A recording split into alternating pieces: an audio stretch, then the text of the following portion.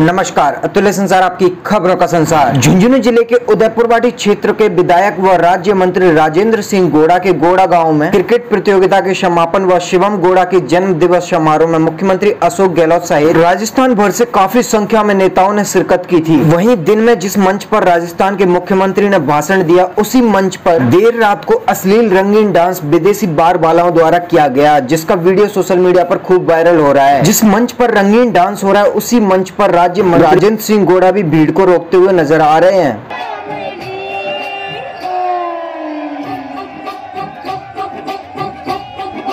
आपकी क्षेत्रीय खबरों के लिए वीडियो को लाइक और चैनल को सब्सक्राइब करें और अधिक जानकारी के लिए हमारी वेबसाइट को भी विज़िट कीजिए।